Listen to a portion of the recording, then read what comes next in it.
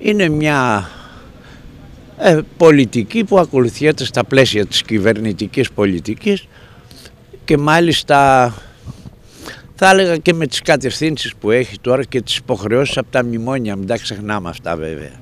Καμπανάκι κινδύνου από τον επικεφαλής της Λαϊκής Πύρο του Λουτρακίου Χρήστο Ασημακόπουλο για το νέο φορολογικό νομοσχέδιο. Ο κ. Ασημακόπουλος καταδίκα στην πολιτική της κυβέρνησης και τόνισε πως αρκετές επιχειρήσεις θα οδηγηθούν σε λουκέτο.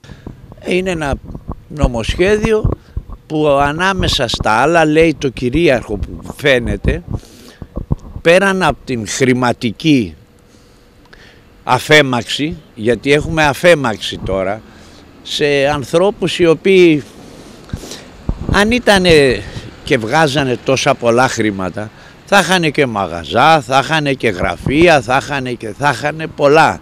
Ή για τους ταξιτζίδες τώρα, ε, τώρα μην, να μην λέμε και πολλά. Αν πούμε τους ταξιτζίδες του Λουτρακίου τρεις-τέσσερις μήνες δουλεύουν. Τον υπόλοιπο καιρό δεν κάνουν και τίποτα. Αλλά δεν είναι μόνο αυτοί, είναι γιατροί, δικηγόροι κλπ. Κάποιοι κλάδοι μπορεί να φοροδιαφεύγουν. Ναι, εντάξει.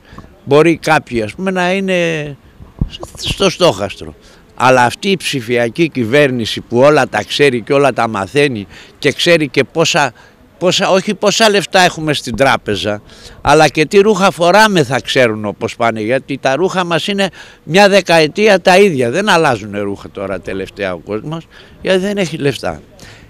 Η κατεύθυνση είναι να κλείσουν όσο περισσότερες μικροεπιχειρήσεις για να δημιουργηθεί χώρος για να έρθουν οι μεγάλοι να οργανώσουν την κατάσταση έτσι ώστε να βρουν, πώς να το πω τώρα, να βρουν διέξοδο τα μεγάλα, τα πολλά κεφάλαια που έχει τόσα χρόνια συσσωρεύσει οι διάφοροι επιχειρηματίες, η μεγαλοαστική τάξη εδώ της Ελλάδας για να βρει καινούριους τρόπους για επιπλέον κέρδη.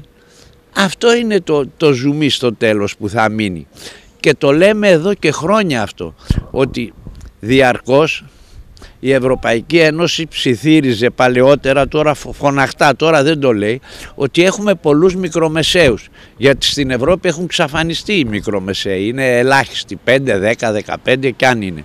Λοιπόν, και πάνε να αποτελειώσουν και αυτούς εδώ για τους λόγους που προανέφερα. Άρα είναι ένα νομοσχέδιο το οποίο είναι στην κατεύθυνση εξόντωσης των μικρών επιχειρηματιών και ανάμεσα και σε αυτούς μέσα θα μπουν και οι αγρότες.